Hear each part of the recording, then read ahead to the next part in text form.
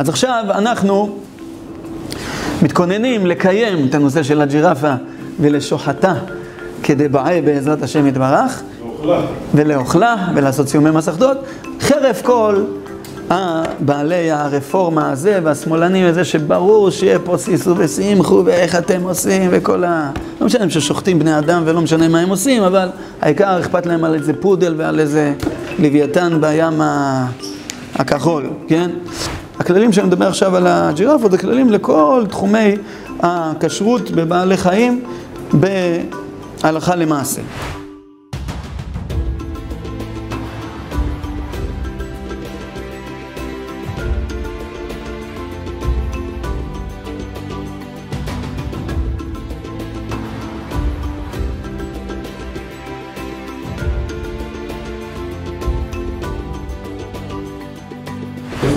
ויהי נועם אדוני אלוהינו עלינו. ומעשה ידינו כוננה עלינו, ומעשה ידינו כוננהו. טוב, בעזרת השם יתברך אנחנו ממשיכים בשיעור השני על כשרות הזמר, דהיינו על כשרות הג'ירפה. ו... כן. ואמרתי את זה בשיעור הראשון, אני רק מעצים את זה עכשיו עוד יותר. שיש לנו סדרה הרי של שיעורים, כבר עשינו פה גם שחיטה, בינתיים רק תרנגולים, חכו, נתקדם, לא יודע אם נגיע פה לג'ירפות, אבל על כל פנים, היסודות שאנחנו לומדים בשיעור הזה זה לא רק הג'ירפה, כן? זה פשוט על כל הכללים של סימני הטהרה בבעלי חיים. ולדוגמה, השיעורים הללו והשיעור הזה, שנדבר על פרטים מסוימים, חשוב אה, לזכור ולדעת את הכללים, כי עם זה אני ממשיך הלאה, בעוד כל מיני דברים. אם יציקו לי יותר מדי, אז אנחנו נגיע גם לאייל האוסטרלי, אגב אורחא ועוד, וזה מאוד קל כבר, כי למדנו את כל היסודות. לכן, לדעת, זה לא רק הג'ירפה, זה כאילו היא הסיבה לפתוח את הדברים הללו בחזקת היד, אבל זה באופן כללי דברים, דברים מאוד אה, יסודיים בכל נושא של הבעלי חיים והכשרות שלהם. וכמו שאמרנו בשיעור הראשון, המבנה, המבנה הוא מחולק לשלושה. יש לי קודם כל, צריך לדעת באיזה תחום אנחנו עוסקים, יש לי קודם כל סימני טהרה בבעלי חיים. מה זה סימני טהרה בבעלי חיים? מה שעסקנו בשיעור הקודם, כ... בכף הדמיון, כשבע ראיות. דהיינו סימני טהרה בבעלי חיים, אם מותר לי לאכול את הדבר, או אסור לי לאכול. זה חלק ראשון שדיברנו בו בשיעור הקודם, מפה אנחנו נמשיך בסימן האחרון שעשינו. זה קוראים לזה סימני טהרה, בכוונה שלנו מחנה משותף בדיבור. אז זה סימני טהרה, מותר לאכול, אסור לאכול, זהו. לכאורה סיימנו, לא, יש שלב שני. שלב שני אחרי שאני יודע שמותר לאכול, זה הסימנים לדעת בין בהמה לחיה. שיש בזה הרבה נפקא מינות, אבל בדרך כלל בפוסקים עיקר הנפקא מינה זה אם מותר לאכול את החלב וכיסוי אדם. שבהמה זה כרת לאכול את החלב וחיה מותר לאכול את החלב, וכיסוי אדם בבהמה לא צריך, ובחיה ועוף עם ברכה וכולי. אז אחרי שנדע סימני טהרה, עוד פעם, אני מדבר על הזמר והג'ירפה, אבל כל בעלי החיים. אם נהיה בנמביה או באיזשהו מקום כזה ונראה פתאום איזה יצור שאני לא יודע, לא מכיר אותו, לא יודע מה הוא, או כמו שדיברנו בשיעורים האחרים, על הכשרות של הדינוזאורים. פתאום נראה ככה דינוזאור. לא יודע, לא מכיר, יש לי כללים, הכללים שאני מדבר עכשיו על הג'ירפות זה כללים לכל תחומי הכשרות בבעלי חיים בהלכה למעשה. אז אחרי שאתה יודע שהחיה הזאת מותרת לאכול אותה, באיזה גדרים צריך לנקר, כיסוי אדם, אותו ואת בנו באותו יום, אז זה הסימנים שמבדילים בין בהמה לחיה, זה חלק שני. לאחר שעברנו את שלב א' וב', עדיין יש את האשכנזים שיהיו בריאים, אני חצי מהם פחות או יותר, הכל מותר ומגיע לצלחת, אבל אסור. למה? כי יש עניין של מסורת. צריכים להתמודד עם המסורת, דיברנו על זה באריכות לגבי עופות, לא סיימנו את הכל, דיברנו על תרנגול אבל יש עוד כמה פרטים מעניינים ועוד כמה סוגים, אבל המסורת במאמרות החיות, אשך, קראנו אותו סוף שיעור הקודם, קראתי סימן פסיף קטן א', אומר שצריך מסורת. אז זה השלושה חלקים שיש לשיעורים הללו. אנחנו, שיעור שעבר דיברנו על כשבע סימני טהרה שמותר לאכול את הג'ירפה והדברים מאוד פשוטים, הכלל הפשוט, מפריץ פרסה שסועה ומעלה גרה, סיימת את הסיפור. רק יצמנו את הדברים שהחלב של הטהורות בעבודה זרה למדינה עמוד ב' הוא לבן, כי אתה לא יכול לבדוק תמיד את הפרסות, אתה לא יכול תמיד לדעת מה לגירה, החלב מתגבן, הבשר מאחורה מהלך שתי וערב, איזה שבע דוגמאות וראיות לדברים הללו. וסיימנו, נכנסנו קצת למסורת, אבל סיימנו, ואמרתי אותו בקיצור, זה הנושא של הקרניים.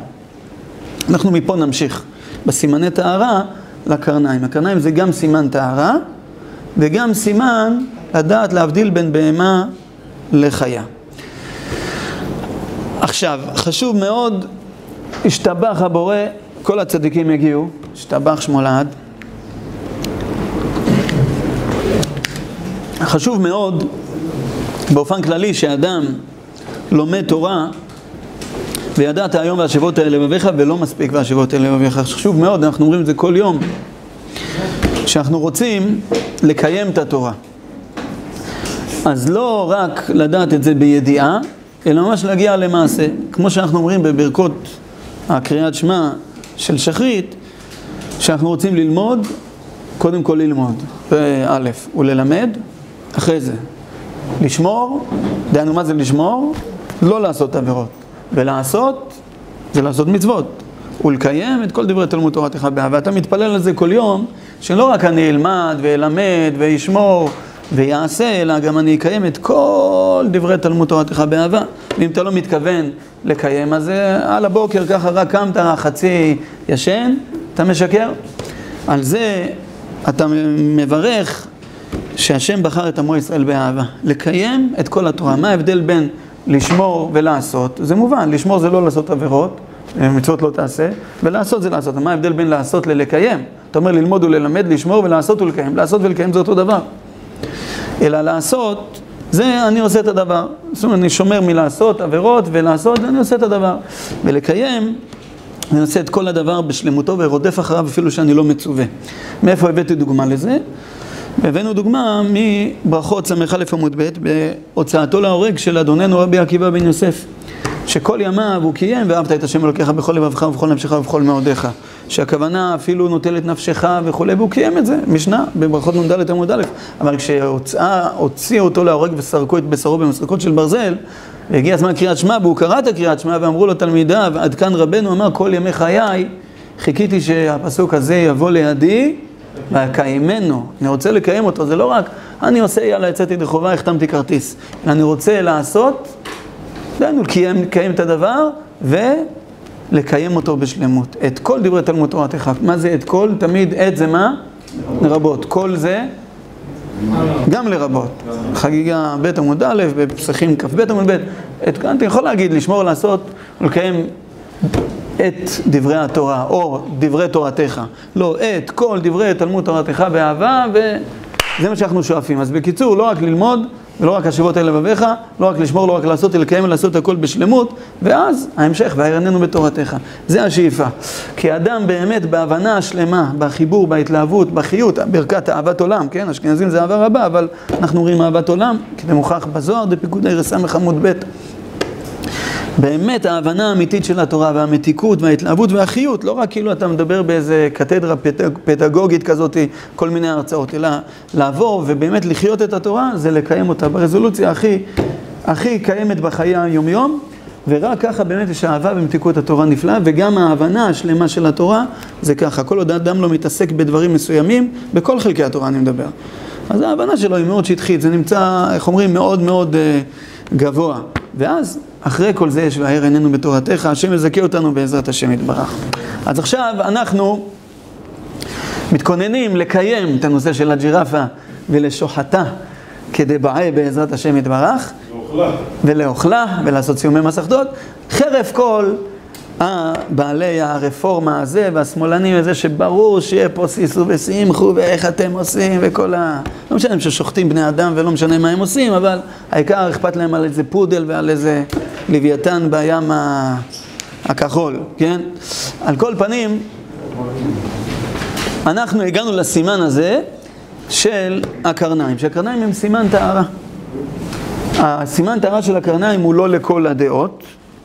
ואנחנו עכשיו נראה פה עוד כמה פרטים. אז קודם כל, יש לנו לכאורה משנה מפורשת בנידן נ"א עמוד ב', שאומרת לנו המשנה, כן, כידוע לג'ירפה יש קרניים, כן, יש לה קרניים.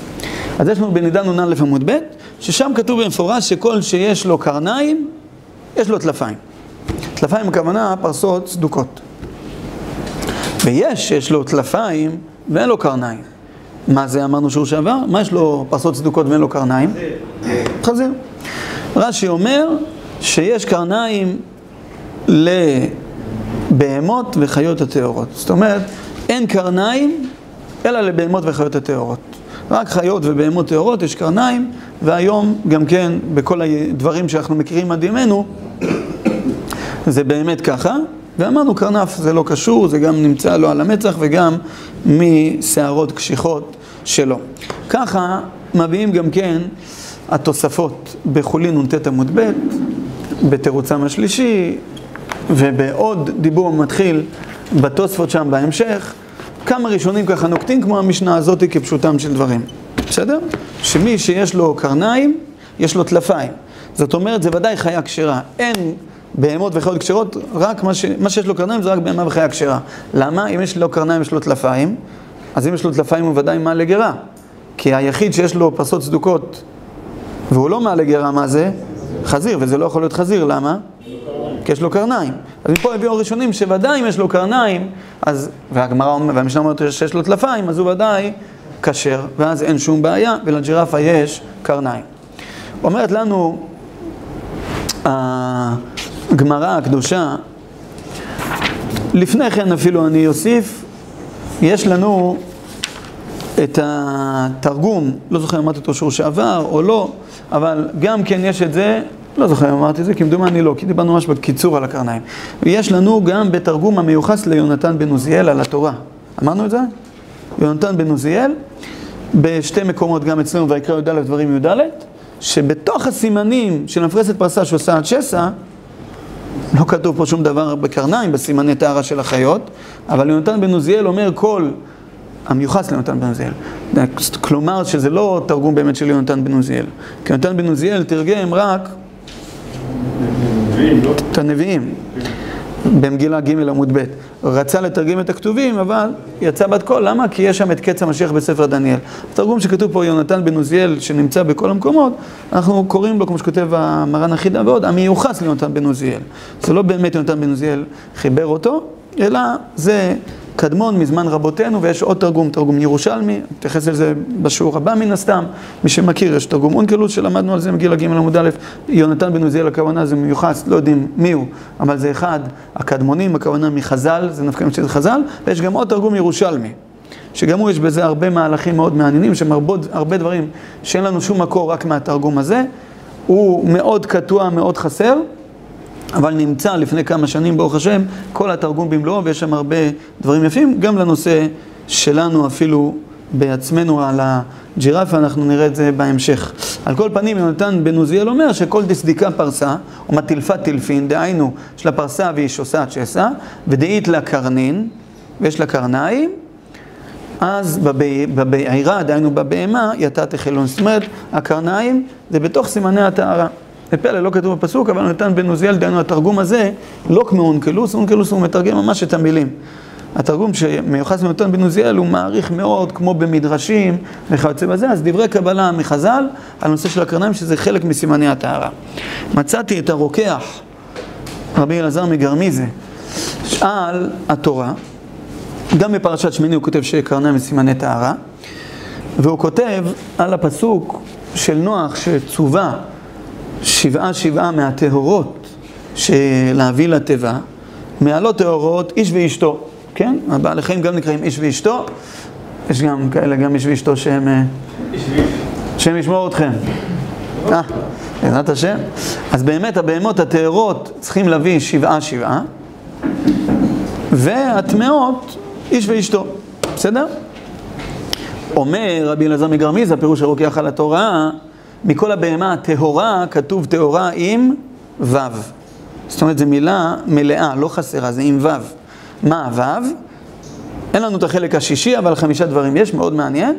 אומר ו' מלא, למה? כי מסר לו השם יתברך לנוח ו' סימנים לבדוק וללמוד מה טהור ומה לא טהור. אז אנחנו בכיוון. זה, לא ראיתי את זה, ראיתי את זה השבוע. אנחנו בכיוון, אנחנו הבאנו שבע, בסדר? אבל ו' סימנים אין לנו את השישי, חמישה יש לנו, לדעת מה טהורה ומה לא. זאת אומרת, נוח מאיפה ידע, הרי עוד לא ניתנה התורה, אלא הקדוש ברוך הוא טהורה בו' נתן לו סימנים. ומה הם? הראשון שבכולם, ברוך השם, קרניים. ברוך השם. אה, קודם כל קרניים. אחרי זה, שיניים. מה הכוונה שיניים? שאין שיניים למעלה. ושלוש, מעלה גרה. ארבע, שוסע שסע. חמש, שזה אנחנו לא התייחסנו לזה כי זה לא שייך בימינו, והשישי נמחקה, נמחק פה השורה.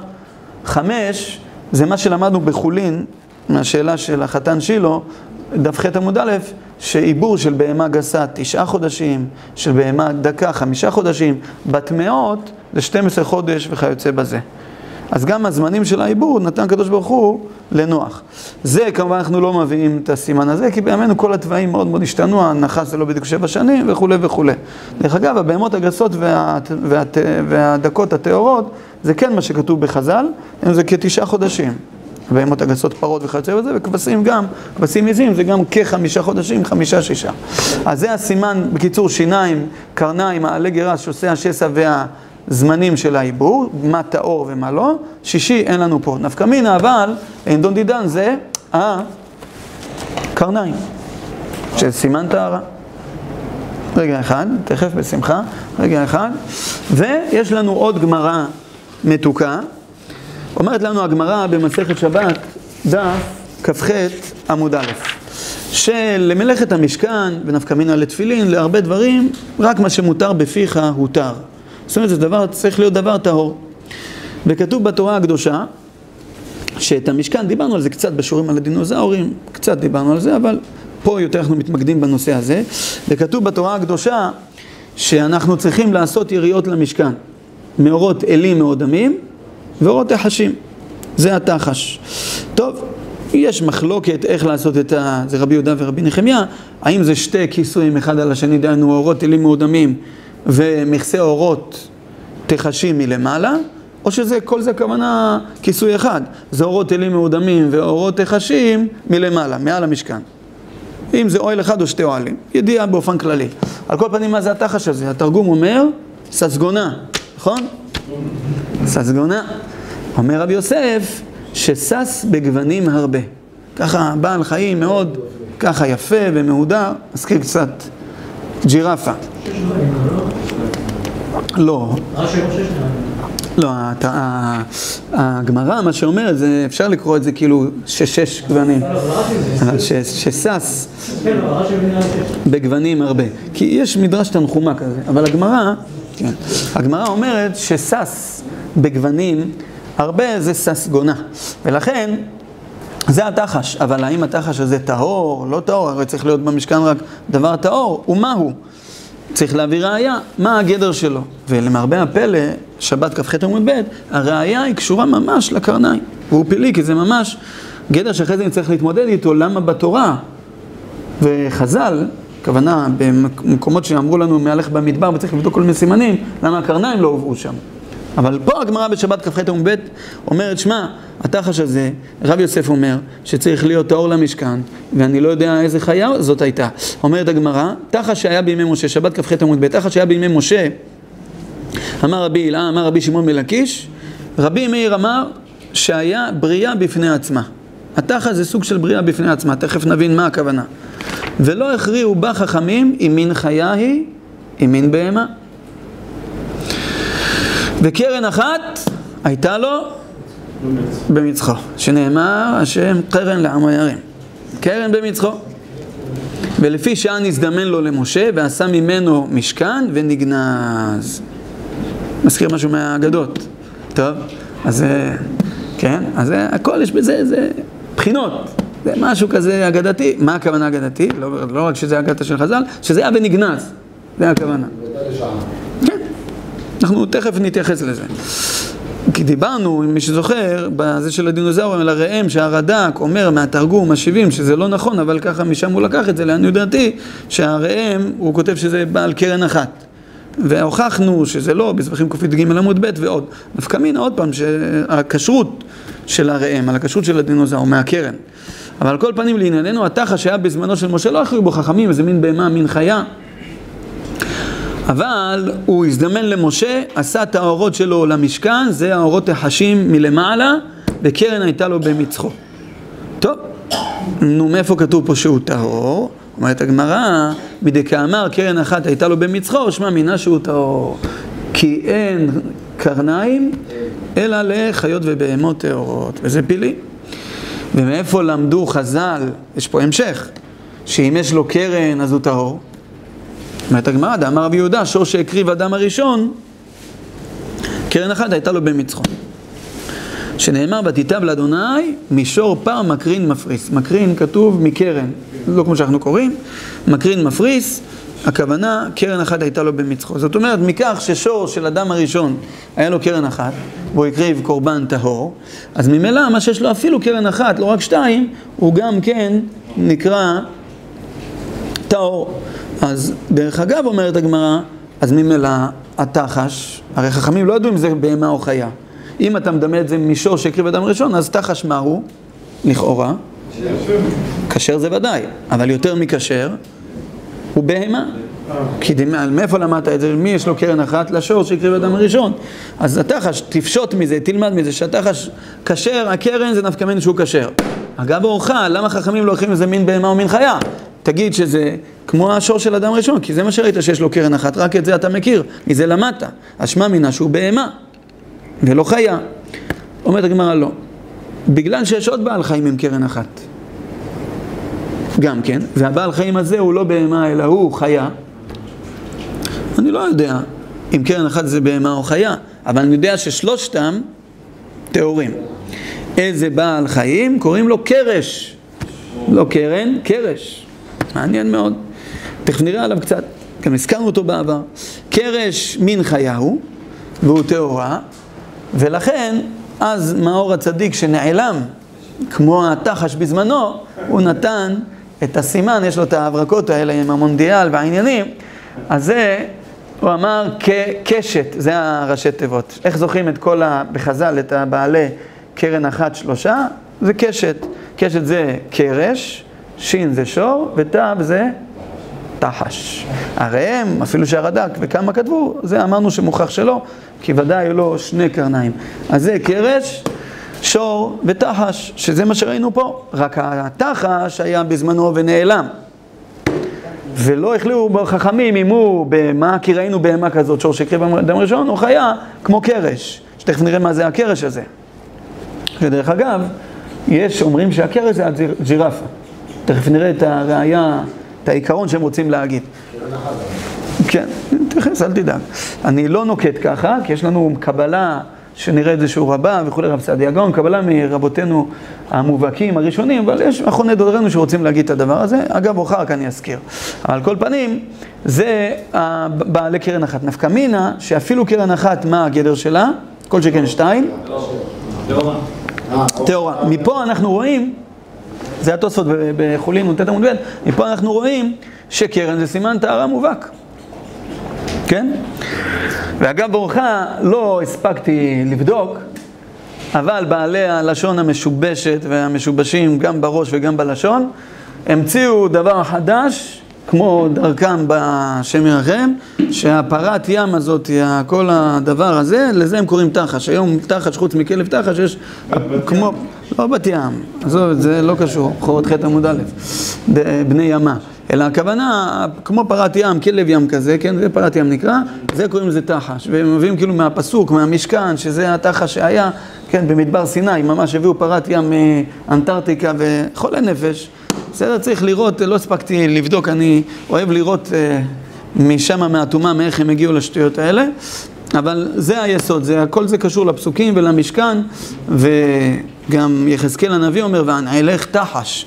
דהיינו נעליים, יש כאלה רצו להגיד שפעם הנוודים היו הולכים עם נעליים כאלה של האורות של הפרת ים על הרגליים, אז לכן אומרים זה התחש הידוע, כן? כמובן זה משובש ושטויות. תחש זה חיה טהורה, זה לא פרת ים ושיגעונות כאלה. יש לו קרן אחת, רגע אחד, ונפקא מינה שהוא מעלה גירה, מפריס פרסה וכולי, ועוד נפקא מינה שהוא נגנז. אז ודאי כל זה משובש, וזה דרכם כסלמו, כדרכם של הרבה דברים. למה, לא אכנס לזה, אבל זה שאני מדבר על זה, זה מעצבן אותי, אבל למה לגמל שלמה קוראים אה, גמל שלמה? יש לי הרבה, אבל רק אחד אני אגיד. אה, כי, כי התרגום 70, שזה לוקחים מזה הבעלי הלשון, תרגום השבעים, שזה כאילו חכמי ישראל כתבו את זה על פי מגילת ט עמוד א' עמוד ב', אבל זה תרגום שאצל הגויים נמצא, התרגום של הגמל, ב, של המחילה של הג'ירפה, של הזמר של התורה, שמתרגם אותו התרגום, וגם בוולגטה, בכל מיני הדברים שלהם, וגם בעברית התקנית, התקנית של העבר, לזמר, שזה הג'ירפה, הם קראו גמל נמרי. גמל נמרי, למה? כי הוא ככה נראה גמל, והוא כאילו אור של נמר, וגמל נמרי כזה, לשון ככה יפה. בסדר, זה איך הגיעו לגמל נמרי, שזה הזמר של הג'ירפה, בסדר. אבל אה, גמל שלמה, איך הגיעו? אה? אז קודם כל, כי הוא דומה לגמל. כאילו ככה עם הראש וככה, בסדר, נגיד שפחות או יותר גמל. אה? חכם. חכם? גמל חכם? לא יודע גמל חכם, אבל על כל פנים, הוא ככה מרים את הראש שלו, וזה כאילו דומה לגמל עם הרבה דמיון, כמובן, כן? גמל פורח באוויר. כן? ובגלל שבדברי הימים, אני בדקתי את זה, אני לא סתם אומר הלצה. כן, אני, לכן אם אתה חשוד, אני לא הספקתי, אבל, אבל בגלל שבדברי הימים כתוב על שלמה שבנה את בית המקדש, שהוא הרים את ידיו בתפילה והודה לשם יתברך, והגמל, שלמה, כן, תבדקו, אני בדקתי את זה בשורש, באקדמיה וזה של הלשון. אז והגמל, שלמה, כאילו הכוונה, הגמל הוא דומה לגמל, והוא ככה מרים וקצת מזיז את עצמו, והוא כאילו מזיז את הידיים כזה קדימה, אז קראו לזה גמל. שלמה, רפואה שלמה בעזרת השם לכל עם ישראל וכיוצא בזה. כן, זה לא נכנסתי פרת משה רבנו, יש עוד הרבה חידושים, אבל בקיצור, כל זה שטויות והבלים, צריכים ללמוד את המקור, נחם לווה מקור חוכמה. טוב, כמו שמפגינים שהחרדים וזה לא מתגייסים עם דגלי אש"ף נגד הכיבוש, זה כאילו, בסדר, רפואה שלמה. אתה אומר שמישהו מציע רעיון, עם כל אחד יכול להציע רעיון, מה זה משהו בישיבה, שומעים את זה, אם זה מתאים להם, אה, כן, רק הבעיה, למה אני מזכיר את זה? לא בגלל השיבושים שלהם, כי בגלל שכאילו הם לוקחים דברים מהתורה ופסוקים וכל מיני כאלה שטויות ועושים מזה אנדרוגינוס בצורה מטורפת לגמרי. כמו התחש. על כל פנים, זה שער הקליפות. אנחנו עכשיו בטהרה, בעזרת השם. אז התחש הזה נגנז. על פי זה מצאתי חידוש מאוד נפלא של הגאון, רבי מאיר שמחה מדווינסק. בעל האור שמח, זכותו תגן עלינו אמן. אמרנו עליו, רק שתיזכרו, אני לא אחזור על הסיפורים המרתקים, יש על זה ספר שלם, אבל זה השני רבנים גדולי הדור באשכנז, שהיו בעיר והם בישראל בדווינסק. הרב של החסידים זה הרבי יוסף מרוז'ינה רוגוצ'ובר, והרב של הליטאים, דהיינו המתנגדים, זה הרבי מאיר שמחה מדווינסק. זה הבעל האור שמח. על כל פנים, כותב בחידושיו על מסכת חולין דף נ"ט עמוד ב', נ"ט עמוד א', לפי היסוד הזה של התחש, הוא אומר חידוש מתוק, לכן הבאתי אה, שנאמר אותו. מה? אומר, בגלל שהתחש היה בזמן שהקים משה את המשכן, ונגנז וכולי כל מה שלמדנו, אז מובן הבדל שקרה בתורה. יש לי בויקרא י"א את הסימני טהרה. בפרשת ראה, שזה חוזר, דברים י"ד, יש לי את הסימני טהרה, אבל שם כתוב כבר את השמות של הבעלי חיים. בדברים זה כתוב, בויקרא זה לא כתוב. וכמה בעלי חיים יש לי? שלוש בהמות, שבע חיות, עשר. אז הוא אומר, בגלל שאתה חשיה עוד במשכן, והזמן שנאמרה התורה, פרשת ויקרא, לא בסוף הארבעים שנה שזה ספר דברים. זה נאמר כשהיה עוד את התחש, וזה חיה טהורה. לכן השם יתברך לא רצה לפרט את כל מה שמותר מאסור, כי התחש הוא לא דבר של, של קיימא. לכן רק את הסימנים נתנו לנו שם. ואחרי שנגנז, בסוף הארבעים שנה, שזה ספר דברים, שם כבר נאמרו רק עשרה בעלי חיים, כי באמת יש רק עשרה, התחש היה במשכן בזמן ויקרא, לכן לא נאמרו השמות, נגנז, ואז יש לי רק עשרה, שלום על ישראל, השתבח שמולד. חידוש מאוד uh, מתוק. אנחנו אוהבים לראות שכל דבר הוא מסודר כמו שצריך. על כל פנים, לא יכלו חכמים על התחש לדעת אם זה מין בהמה, מין חיה, יש לנו דבר כזה, אני לא אכנס לזה עכשיו, זה לגבי הקוי, קוי זה ספק בהמה, ספק חיה. ובחולין פ' עמוד א' כתוב, לפי רבי יוסף ועוד, חכמים לא יכלו, חכמים לא הכריעו בו אם הוא מין בהמה או מין חיה. לכן שוחטים אותו, לא אוכלים את החלב ומכסים את הדם בלי ברכה. וגם זה, זה מחלוקת מה הכוונה לא הכריעו בו חכמים. נפקא מינה אם יש לי רק עשרה בעלי חיים שמותר לאכול, או יש אפילו יותר. נפקא מינה גדולה ומעניינת שיש מה להעריך, אבל אני לא רוצה כי זה לפתוח עכשיו צוהר רציני, אבל הנפקא מינה, אם אני אומר שקוי הוא מין בריאה ולא הכריעו בו חכמים, אם הוא מין חיה או מין בהמה, אני יכול להסביר כמו שהתוספות שם מסבירים, שהכוונה, ספק, אולי זה חיה, אולי זה בהמה, אבל זה ודאי או חיה או בהמה. ואז אין לי קושייה שיש לי רק עשר בעלי חיים טהורים, הוא רק אחד מהם. אבל הרמב"ן ודיימה לא מסבירים ככה. הם אומרים, לא, הוא מין בריאה בפני עצמה. הוא ודאי לא בהמה וודאי לא חיה. ולא הכריעו בו חכמים עם חיה בהמה, את הדין שלו, מה ההלכות שלו, האם ההלכות שלו כמו בהמה, ההלכות שלו כמו חיה. לפי זה יוצא שיש יותר מעשרה בעלי חיים. וזה דבר נפלא. עוד דבר שאותו דבר הסתפקו בו, רבי יוסף. כתבתי לעצמי את ההקבלה, זה רבי יוסף. זה יש לנו בפרק רביעי של מסכת, מסכת ביקורים. זה פרק רביעי, אבל זה לא פרק רביעי של המשנה, זה נקרא רביעי, אבל זה רק ברייתא, זה כאילו משנה. פרק רביעי משנה ה', זה ברייתא, אנדרוגינוס. מה זה אנדרוגינוס? הוא בהי, כן? יש לו גם של זכר וגם של נקבה, בר מינן. רבי יוסי אומר, אנדרוגינוס לא הכריעו בו חכמים. אם זה מין זכר או מין נקבה. הכוונה, יש ראשונים שמסבירים הכוונה זה או זכר או נקבה, ודאי. אבל רבי יוסי, וכמה ראשונים אומרים, לא, זה בריאה בפני עצמה. אנדרוגינוס זה הלשון, בריאה בפני עצמה. ולא הכריעו בו בגדרים ההלכתיים שלו אם הוא זכר או נקבה. זה בעייתי, הוא מכל הכיוונים פה מסובך. אז לכן... גם בברית בשבת. כן, בברית בשבת אי אפשר למול אותו, כי אולי היא נקבה וכולי וכולי, יש הרבה פרטים. אז זה דיברנו בשיעורים על השינויים לניתוחי מין, על ההוא והיא וכיוצא בזה, זה המקור שם מהאנדרוגינוס, שבגלל שזה כל מיני ספקות, אפילו שיכול להיות שהוא צד זכר, אבל יש בו צד נקבות, אז מחמירים בו בכל הכיוונים. בסדר, יהודה? כל הכיוונים ככה. דהיינו, הוא לא יכול לבוא וככה להתפלל במניין מול כולם עם שיער ארוך, וכולי וכולי. כן. ויורד ליד כ"ח, אחד הראשונים כותב שכל זה שילוב, גם וגם. כן, זה נכון, זה רבי, זה אמרתי, מה שאני אמרתי לפי רבי עושה. יש אומרים רבי אליעזר, אבל כן, לא קיים להלכה ככה, הוא אומר שזה, שזה עם צבי ו, ותיש, זה בכלאיים. בסדר, זה, זה עוד סוגיה, אבל לא קיים עלן ככה, יש דעה כזאת בגמרא, כן. זה. פרת ים? איזה פרה? שהשתנו הדברים, שהשתנו הדברים? שהשתנו הדברים בחיות. אה, בעיבור. כן, לא פרה, כן. כן. החזון מוכיח שהדברים משתנו, ב- הוא הביא בתוספות וכולי, שהם השתנו לשנתיים, לשלוש, לפעמים באדם, מקורות, מדלת. כן, כן, כן, נכון, זה חזון איש ידוע באבן העזר, כן. כן, הדברים. נכון, זה מה שאמרתי, לכן אני לא, זה, מה שאמרתי, שלכן לא הבאתי את הראייה הזאתי בתור סימני טהרה, כי זה בימינו, אתה לא יכול להשתמש בזה. העיבור של הג'ירפה הוא 15 חודשים וכיוצא בזה. על כל פנים, זה לגבי הסימן טהרה שיש לנו, יוצא לנו סימן טהרה מובהק של הקרניים. עוד מובא במדרש, מדרש תדשה המיוחס למי? לרבי פנחס בן יאיר. ששואל המדרש תדשה, למה יש קרנות במזבח? למה יש קרן במזבח?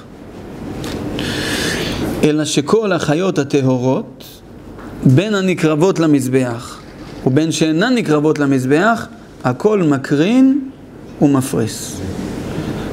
זאת אומרת, מהמדרש תדשה אומר במפורש שהקרניים של המזבח, כי זה מה שמקריבים עליו. רק דברים עם קרניים, וזה כל הטהורות יש להם קרניים, בין הנקרבות למזבח ובין שאינן נקרבות למזבח. שניהם. אה? מפריס, הכוונה מפריס פרסה של שואה. לא קשור, הוא רוצה להגיד על הקרן, אבל צידה שהכל מקרין ומפריס, זאת אומרת עוד מדרש מפורש שאומר לנו את היסוד הנפלא הזה. יש חכם היסטורי, שזה לא ספר של חז"ל, קוראים לו פילון היהודי, זה ככה היה פילוסוף, זה היה בזמן בית המקדש יהודי. הוא הרבה חקירות, פילוסופיות, הוא היה, דברים תורניים הוא מביא, זה דרך פילוסופיה כזה, הוא גם מביא את היסוד הזה, שכל מה שכשר יש בו קרניים, גם את היסוד הזה ממש של המזבח, והקדוש ברוך הוא, עוד פעם, זה לא חז"ל, לכן לא צריך, שם את זה בסוף, והקדוש ברוך הוא רצה שגם אם אוכלים משהו, זה יהיה קרוב למה שמקריבים במזבח, כאילו לכן גם לאלה שלא נקרבות במזבח, דהיינו החיות, לכן גם להם יש את הקרניים. דבר נפלא. על כל פנים, ראינו, אני חושב, בחזקת היד, דברים נפלאים. לגבי הסימן הזה של, ה, של הקרניים, ממילא הקרניים לרוב הראשונים, לא נכנסתי למחלוקת, רוב המקורות וכולי, אנחנו רואים שזה ודאי סימן מובהק לכשרות. לא אמרת עכשיו בהמה או חיה, אנחנו בסימני טהרה. בסדר, אז ג'ירפה שיש לה קרניים, אז ודאי לגבי חלק א', שהיא מותרת לאכול, מותרת לאכול ודאי. בסדר? אבל יש על זה קושייה. מה? במשנה, במסכת ראש שנה כ"ו עמוד א', כתוב כל השופרות כשרים, חוץ משל פרה. שופרות, כולם, מכל מי שיש לו קרניים, אפשר לעשות מזה שופר. חוץ משל פרה, כי פרה קרויה כרם בתורה ולא שופר. שופר כותב הרמב"ן והראשונים, שזה מלשון, חוץ מזה שופרה שזה יופי, אבל זה מלשון שפורפרת. היא צריכה להיות חלולה, כי השופרות עשויים מזכר ונקבה. יש את העצם, כאילו הזכרית, והעצם החיצונית שזה הנוקבית, כאילו הנקבה, ועם זה, כמו שפופרת, אתה מוציא ומשתמש. של פרה זה גם ככה. אבל פרה אין קטגוריה נס הסנגור, וזה נקרא קרן ולא שופר וכולי בלשון הפסוק, לכן של, של פרה אסור. אבל כל השופרות כשרים. מצוין. שואלים התוספות, למה כתוב חוץ משל שופר? שיגידו גם חוץ משל ראם. כי גם ראם בתורה כתוב בתור קרן, קרני ראם קרניו, ומקרני ראמי. אז השופר של דינוזאור, כן, שופר ככה של קרני ראם, היינו רוצים ככה משהו רציני. כתוב הכל מותר חוץ משל פרה, גם תגיד חוץ משל ראם. מתוספות, אני קורא ראש השנה כ"ב עמוד א', לא. כי שם הם לא חלולים ולא רואים להיות שופר. קרני הראם הם לא חלולים, הם לא זכר ונקבה, זה קרניים דחוסות, עצם. וברגע שזה עצם, המשנה לא צריכה להגיד חוץ מראם וכיוצא בזה, כי כתוב שופרות. מה שלא שופר, בעלי חיים שהקרניים לא חלולות, הם לא רואים בכלל מעיקר להיות שופר. חוץ מפרה, הכוונה, פרה אפילו שזה שופר, דהיינו שזה עצם חלולה, זה לא כשר כי זה קרן. אבל לאפוקי ראם וכולי, זה לא שופר בכלל, זה מעיקר הפסול. דהיינו מה שהעצם, כמו בג'ירפה דרך אגב, מה שהקרן היא עצם, היא ודאי לא ראויה להיות שופר, כי היא לא חלולה. בסדר? זה כותב מרן, בסימן תקפ"ו, סעיף א', תקפ"ו זה כבר היעבץ, כותב דברים שאנחנו אוהבים את הסימנים, סימן תקפ"ו זה הלכות שופר, וזה גימטריה בדיוק, שופר. השתבח שמואלה, נפל האמת באמת. השתבח שמואלה, זה כבר מור קציעה כותב, היעבץ. הלכות שופר תקפ"ו, אומר מרן, שקרניים של פרה פסולים, וכן קרני רוב החיות, כי יש סוגים של צבי שזה חלול, אבל קרני רוב החיות שהם עצם אחד ואין לו בפנים זכות פסול. זאת אומרת, כמעט כל החיות, הקרניים שלהם פסולים לשופר, כי זה עצם. כמו שאנחנו מכירים, סוגים של הרבה צבעים וג'ירפה וכולי, לא כמו של התימנים ה... דישון. זה לא דישון. דישון, אתה יודע מה זה דישון? מה התרגום אומר על דישון? מה התרג'ום? תימנים, צריכים לדעת את התרג'ום. רמה, ראם. דישון זה הראם, מפה כל הראיות על הדישון. נכון? היום, בעלי הלשון המשובשת קוראים לקרן הזאת דישון, כי קרני ראם קרנה, ואני כזה... אבל ראם יש גם בספארי ובהרבה מקומות שזה לא הקודו הזה, זה ככה עם שפיץ חזק, אבל זה לא ראם ולא דישון ולא נעליים. הראם אמרנו, מה זה? יכול להיות תת מין של דבר גדול, גם קטן, כן? אבל אנחנו לא בקיאים בדבר הזה. כל פעמים זה כל זה שיבושי הלשון שדיברנו. אבל מה שהוא אה, עצם גמורה, רוב החיות הם ככה, לכן הכל פסול, כי זה לא גדר של שפופרת של שופר. בסדר. מסיים הרמה, דבר פלאי, וכן שופר מבהמה טמאה, פסול. קושייה או לא קושייה? אה. לא. אמרנו את זה ביד בנימין. ביד בנימין הייתה הקושייה, לא בראש העין. אתה צריך לדעת איפה הקושייה. אבל יפה שזכרת. עניתי ביד בנימין, לא בראש העין. שתהיו בריאים. צריך לדעת איפה אנחנו אוחזים. אז ישאל אומר קרנף. למה קוראים לו קרנף? קרן אף. כן, הכל אצלהם זה מסודר. חי דק. אז זה הקרנף הזה. זה לא מהתורה השם קרנף, כן? אז הקרנף הזה, יש אל אומר, ומישהו באמת רצה להגיד, אחד מהאחרונים, בן זמננו רצה להגיד שזה כאילו לקחת את הקרן של הקרנף ככה, לקדוח, היא תתפורר לו לגמרי, אבל לא משנה, כי זה לא באמת קרן של עצם, שם זה, זה שערות מדובקות, אבל יאללה, תעשה ככה, תשים לק, ויאללה, תעשה איזה... בסדר, זה תירוץ אחד. אה? זה בסדר. כן, זה לא, לא רציני, אבל בסדר. אמר, שכר שיחה נאה, בסדר? טרפה זה לא... טרפה לא. ברגע שיש לי מהמותר בפיך תפילין וספר תורה ושופר וכולי, אין בזה בעיה, העיקר אמין עצמו שהוא כשר. לא. אה, ברגע שזה עצם או משהו, זה הכל פסול. כן. אז, אז מקשים, כבר המפרשים, זה לא איזה משהו עלום, מגן אברהם על אתר ועוד, יש כמה תירוצים, אבל אני קורא, אני קורא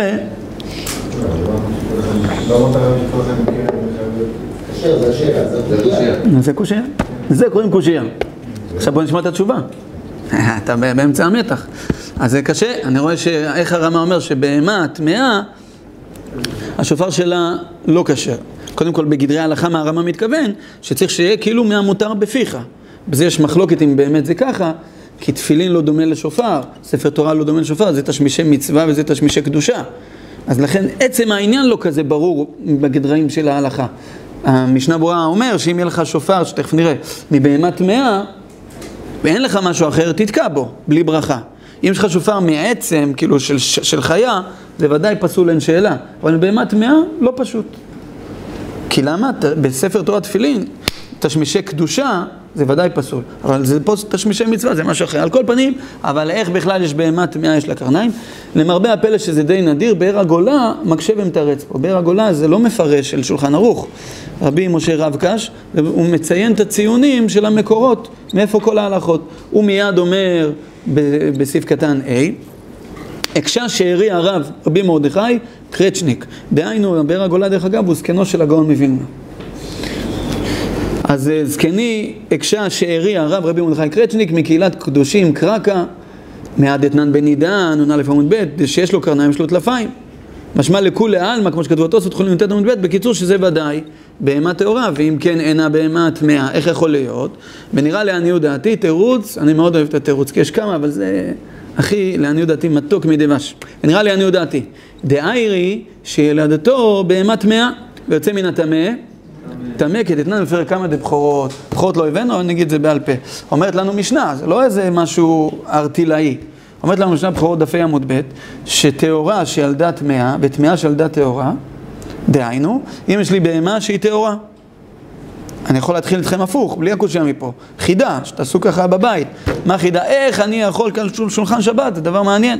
איך אני יכול לבוא ולאכול ככה, עם המרק התימני וכולי, לאכול פרה, או לא משנה, בעל חי, שהוא לא שוסע השסע ולא מעלה גרה. לא יכול להיות, אין דבר כזה, זה נגד התורה. כן, לא. הפרסה קלוטה, כמו סוס, כמו גמל, כמו זה, ככה נראה, אין לו קרניים וכולי, ואיך אני יכול? בסדר, תודה.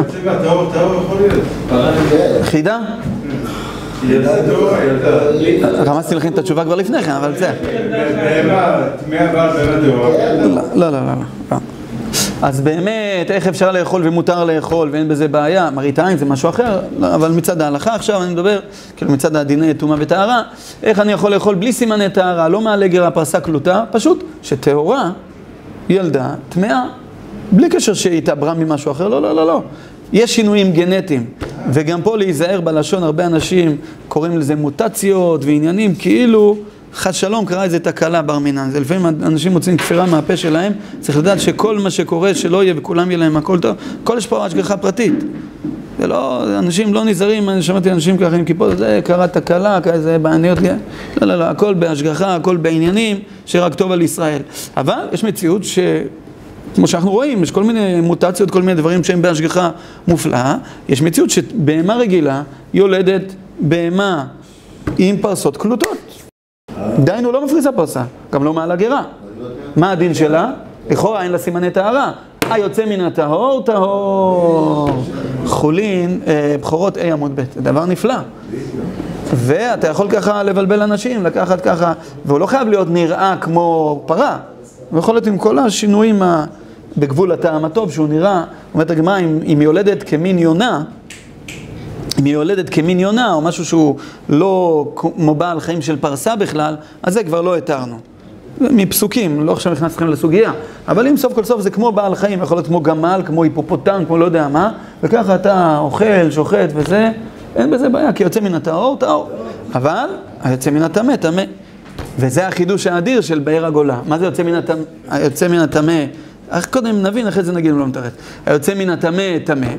פשוט מאוד, שאותו דבר, שטמאה הולידה מה? טהורה. מפריסה פרסה, שוסעת שסע, קרניים וכולי, אה, זה איסור דאורייתא, זה טמא. מה, אבל יש סימנים, אין בשום בעיה. לא, לא, לא, לא, לא. היא טמאה לגמרי, כי יוצא מן הטמא טמא.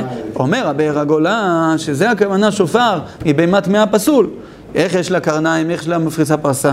יש לה קרניים, מפריסה פרסה והיא טמאה, כי יצא מן הטמאה. אה? במדבר? מתוק במדבר? לא במדבר, לא, במדבר לא. במדבר חוץ מהצמא הטמא. הטמא. מובן? יפה. פוגע. מה? כן?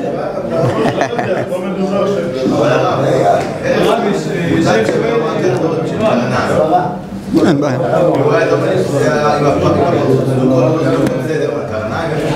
הגמרא אומרת שיכול לצאת בתוך פרה דמות יונה. מפילה אישה. איפה זה? יותר מזה אתה רוצה אפילו יש. יש גמרא בנידה שאומרת ש... ש... ש... שמפילה בדמות של, אני לא אומר את השם שלה אפילו, של לילי. נפ... יוצא ככה כמו שדה, עם כנפיים, עם זה, שם ירחם. הדברים האלה קיימים. הם קיימים היום, נכון היום? ברור, ברור שקיימים, יש בימינו, רבותיי. הדברים האלה קיימים בימינו, רק בימינו זה הרבה פחות, בגלל שהרבה עושים הפלות ויש אולטרסאונד. זה, רגע אחד, זה הסיבה של כל השינויים וכל מיני דברים שבימינו הם צריכים להיות, נקרא לזה בלשון המדינה, יותר יצורים שיצאו, אבל בגמרא בנידה, גם לבני אדם וגם לחיות יש כל מיני יצורים, כל מיני דברים שחז"ל דנים, טמא תאומת לידה, לא טמא תאומת לידה. רק בימינו, כמו שהביאו הפוסקים, לגבי אה, הגמרא ביבמות, פ עמוד ב' אומרת שנפקא מינה זה הלכה. לגבי ממזרות, רבת תוספה אומר שאישה יכולה להוליד עד 12 חודשים. פירוש, הבעל נסע לאיזה מקום, מעבר לים הרחוק, אה, איזה צדיק אתה, ולא רק זה מעבר לים, גם הוא עשה שם כל מיני עניינים שבים ועצרו אותו. זאת אומרת, אין פה עניינים שהוא היה, חזר ובשחור. זה, ואשתו אחרי 12 חודשים, ילדה. לא אחרי תשעה חודשים. אז זה, הוא בא אליה עם הבוטה וזה מה, זה אין, אין שאלה, כאילו, מה, אחרי שלושה חודשים שלפחות, שאני לא פה, צץ העגל הזה, כן? ההלכה היא בשולחן ערוך אה, באבן העזר סימן ד', וזה אמרתי יבמות פ' עמוד ב', שאישה יכולה ללדת עד 12 חודשים, רבת תוספה. ויש עוד כל מיני הוספות, יש לפעמים שהוא יכול להגיע על ידי שם, מפה לשם, ולעשות, כן, כן, דברים מאוד מעניינים. כל זה בגדרי ההלכה, כן, שלא, כמובן יש גבול טעם הטוב מי יכול להגיע על ידי שמות, אבל אבוה דשמואל, אבא של שמואל האמורה, אה, ככה זה קרה, ככה הוא נולד. לכן בכל מקום בש"ס, כמו, לכן כל, כל מקום בש"ס, כמו ברכות י"ח עמוד ב', האבא של שמואל הוא קרוע אבוה דשמואל, לא, לא קוראים את השם שלו. למה? בגלל המדרש המופלא הזה. להעצים שזה אבא של שמואל, אל תדאגו. נכון שהוא לא היה, הוא בא בקפיצת הדרך, וככה נולד שמואל האמורה, זכותו תגן עלינו אמן, וזה מופלא. אז על כל פנים, בימינו יבדקו הבודקים ויגידו אין דבר כזה. כמו שאלתי, פרופסורית שבקיאה בדברים האלה. התשובה היא מאוד פשוטה, כי בימינו עושים או זירוז, או אולטרסאונד, או הפלות, או זה, אין את המציאות הטבעית הזאת, הכל היום באיזה אינסטנט כזה. אותו דבר, כל המוטציות וזה, יש דברים מזווים, ומדי פעם בהודו, בכל מיני מקומות, כל מיני יצורים כאלה מפחידים, נולדים, עם כל מיני דברים כאלה, אז זה בימינו פחות, אבל זה קיים. ויש את הדברים הללו, וכמו שגם חז"ל דיברו וגם בבהמות, אנחנו בלינדר נגיע על זה בהמשך, לא בשיעור הזה, על העוד חיה שישנה, שהיא גם כנדירה, הנקראת השסועה, וכן התינוק וכולי, עם שני ראשים וכולי וכולי, כל הדברים הללו קיימים, אבל פחותים בגלל המציאות הזאת של ההפלות וכיוצא בזה. אז לכן, שינויים גנטיים בקרניים זה עוד כלום, ובפרסות אה, שסועות, אמרתי, זה משנה, ולכן אומר לנו. הבאר הגולה, שזה הקרן של הטמאה, שהיא באמת, יש לה קרן כי היא נולדה מטמאה, אף על פי שהיא נראית טהורה, ואז הכל בא על מקום ושלום. זה דבר נפלא. מה רציתם לשאול? מה עם המדבר? רציתם לשאול מה על המדבר. דהיינו, יש אל שאל את זה? מי שאל? כן. אם אני מבין נכון את השאלה, כאילו איך מותר בסתמה לאכול. יפה. אז שואל, שואל השואל, המיתולוגי, כן? שילה היקר. לא, שילה זה שאלות אה, רציניות לעניין. יש אל, קולע הרבה פעמים, אבל על כל פנים, זה השם גורם, יש אל, שואל, זה אותו לשון הלשון, כן? טוב, יש שאל, על כל פנים הוא שואל, אבל זה שאלה לעניין. למה? אומר, אם אתה אומר שהטמאה שיצאה מבהמה טמאה, יש לה סימני טהרה, אז איך למדנו שור שעבר שהולך במדבר ולא יודע מה זה וכולי ושוחט? יש סימנים, אתה צריך לדעת מאיפה היא באה וכולי. נכון, השאלה היא נכונה, ושאלו שאלו אותה כבר הפוסקים את השאלה הזאת, וזה נכון. התשובה שכל פריש מרובה פריש. זאת אומרת, אנחנו ודאי שיכול להיות מציאות מאוד מאוד נדירה, כן? מאוד נדירה. של, הריבש גם מדבר על זה ועוד, מרבותינו הראשונים, מאוד נדירה, שיכול להיות שזה הבהמה הזאת שיצאה מהטמאה והיא נראית טהורה. יש לך בעיה עם זה? לא, זה כמו גדר, כמו גדר של ביטול ברוב. כי אני תמיד, כל דה פריש, דבר שנפרש, שאני לא יכול לבדוק, כמובן, אני מדבר שאני לא יודע, כן?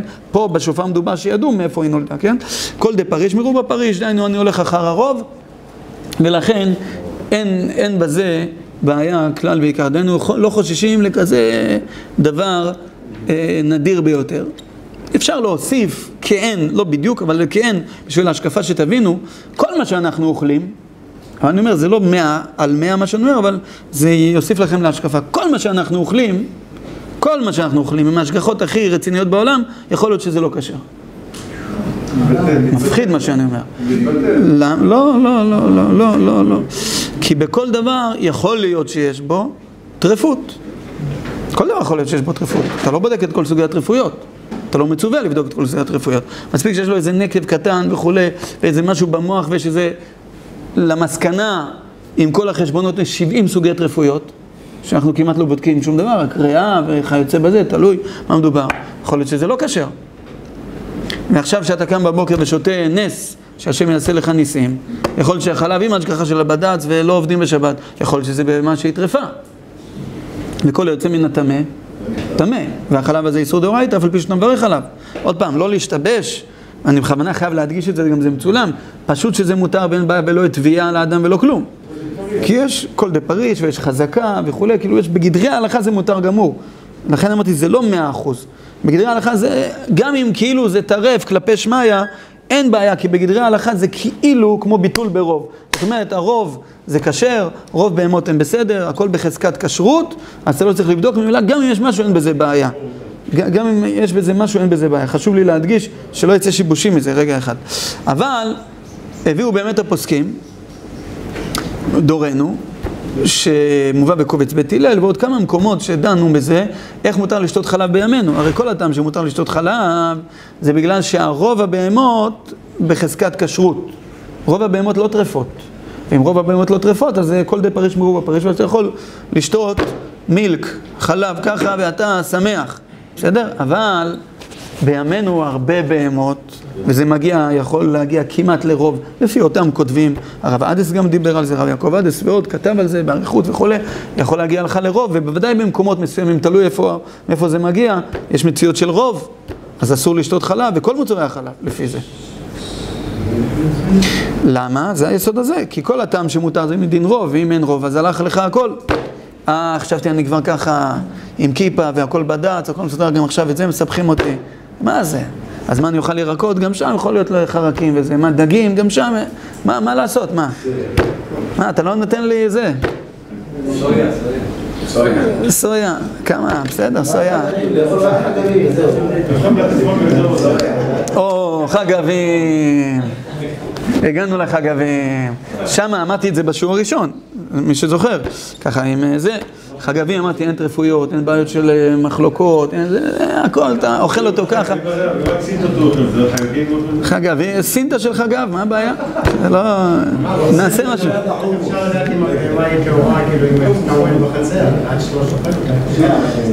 אי אפשר, לכן אני אומר שבאמת, אני רק, אני הסברתי לישאל שיבין, אמרתי זה לא בדיוק אותו דבר, זה על העיקרון, שיבין שכאילו כל דבר אנחנו סומכים, בכל מקרה בגדרי הלכה בעומק, בדין חזקה, בדין רוב.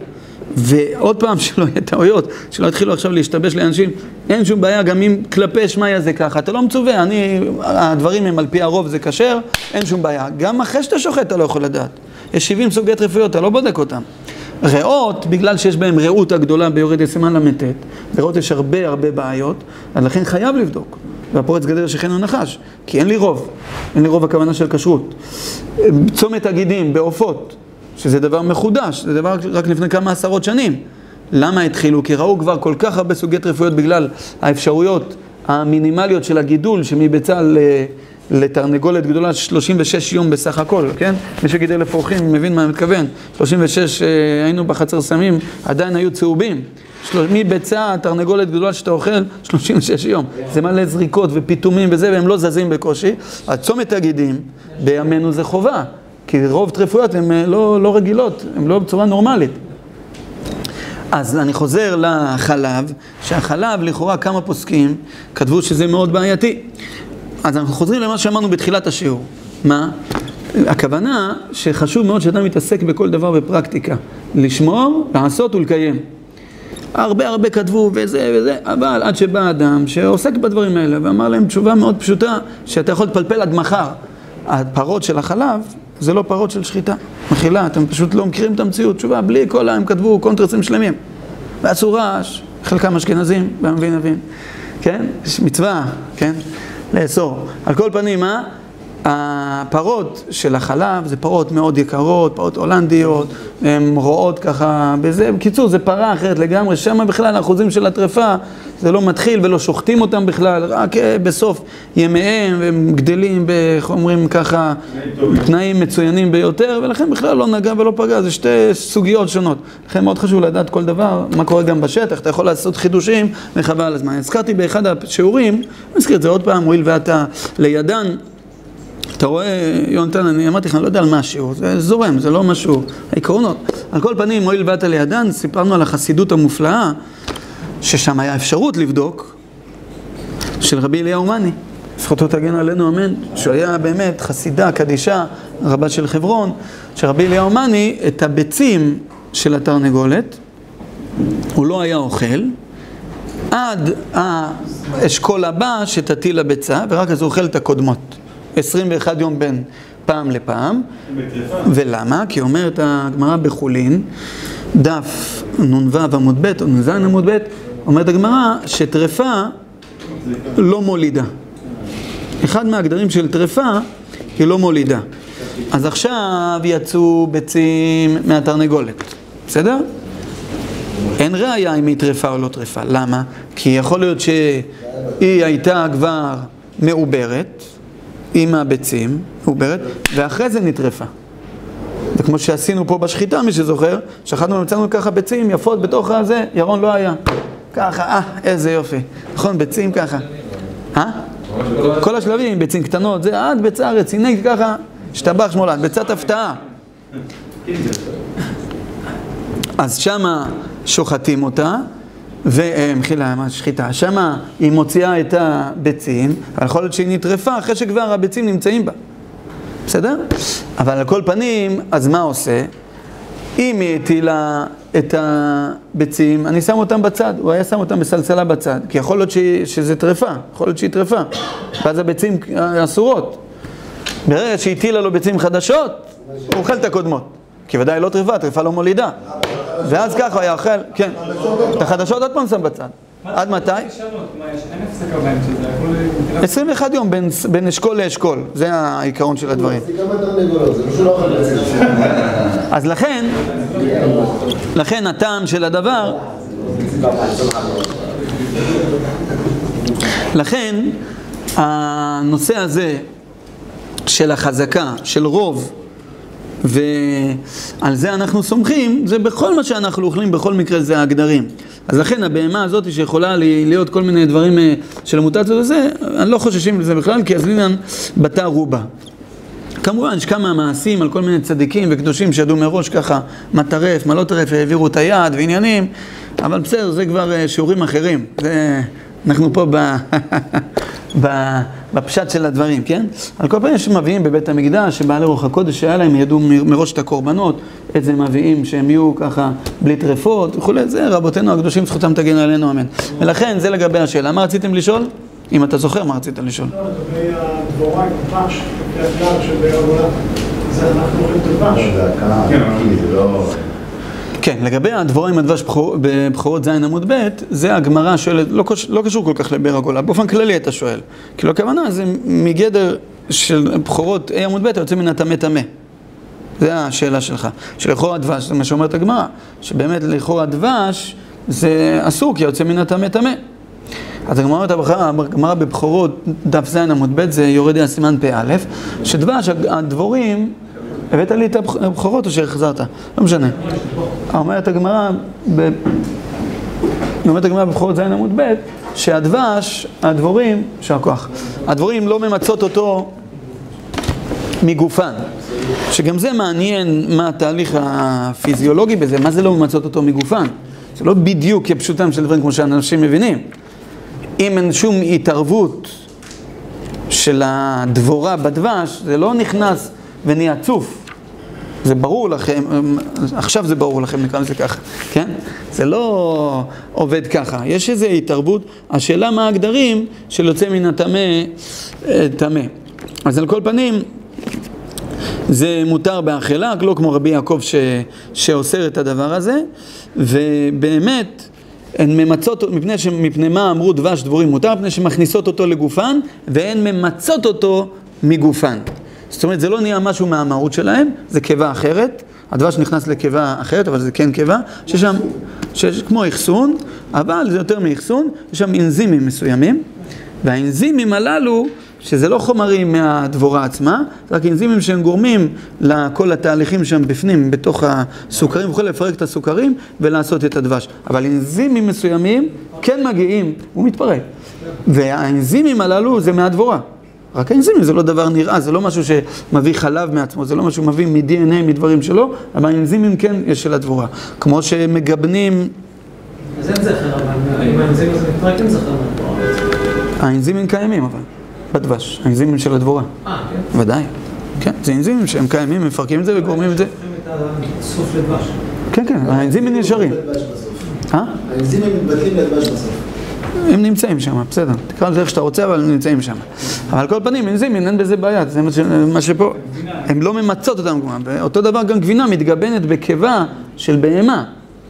שם גם יש אנזימים שהם גורמים את הגיבון הזה. זה- מה זה נעשה גיבון? זה גם סוגים של אנזימים וכולי, שזה גורם את הדבר הזה. אז בקיצור, דבר שיוצא מן הטמא טמא, שזה חלק מהאוכל שהוא אוכל, חלק מהדברים שיוצאים ממש ממנו, דברים שהם לא נראים בעין כמו אנזימים וכיוצא בזה, אז זה התהליך שקורה גם בדבש. לכן, דבש באמת אה, הוא מותר, ויותר מזה הביאו הפוסקים, זה שולחן ערוך יורד סימן פא, סעיף ז' כמדומני, שאפילו רגלי דבורים נמצאים בתוך הדבש, יש מתירים את זה כי הדבש דרכו לבטל ולמסמס את כל מה אשר בתוכו, ואז ממילא הוא הופך אותו למהות של דבש. אה, איך דבש הופך את הכל למהות של דבש? הרי אתם ישר מתנוצץ אצלכם, בא במטרה דף ג' עמוד ב', ד' עמוד א', נכון? אני רואה, יפה, שהורדוס הרשע, העבד האדומי, שהיה 103 שנים קודם החורבן, עבודה זרה ט' עמוד א', שהוא שם את אותה תינוקת שעלתה לגג, והוא רצה, להת- הוא היה עבד אדומי, והוא רצה להיות מיוחס, אז הוא רצה להתחתן עם הבת של החשמונאים. אותה תינוקת עלתה לגג, תינוקת הכוונה נערה צעירה, עלתה לגג ואמרה אני האחרונה שנשארתי משושלת החשמונאים ומי שיגיד שהוא עכשיו חשמונאי אחרי שאני אקפוץ וקדיש, כן, אחרי שאני אתאבד, הוא יגיד שהוא מהחשמונאים, תדעו שזה עבד, או שהוא שקרן או שהוא עבד, קפצה ומתה. אומרת הגמרא ששם אותה בתוך הדבש שבע שנים, לכן לאישה באנגלית אומרים הני, נכון? לא, כמעט זה האישה. נכון, זה בדיוק זה העניין.